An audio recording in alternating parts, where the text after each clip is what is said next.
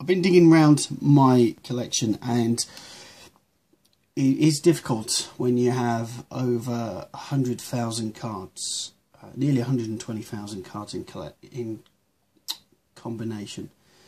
And I'm slowly but surely weeding my way through.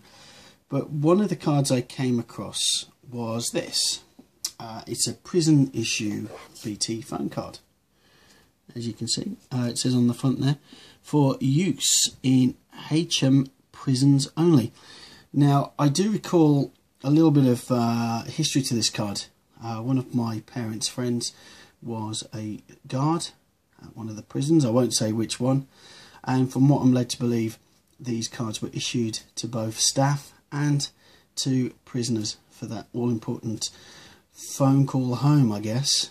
And as you can see on the back, you have space uh, to fill in your uh, what's it got here? Let's have a look. It says uh, your HM prison number, name, and uh, let's have a look what we've got here. And of course, your signature. So I guess obviously, if you lost it, you had uh, the means of uh, being able to identify that it was yours. So there you have it. There is a prison issue BT card.